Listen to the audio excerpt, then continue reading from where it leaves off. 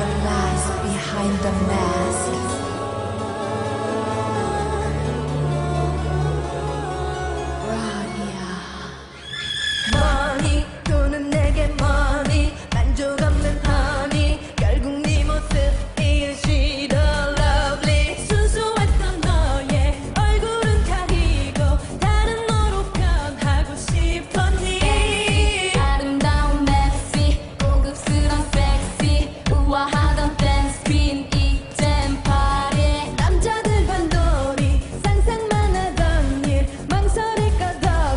Time to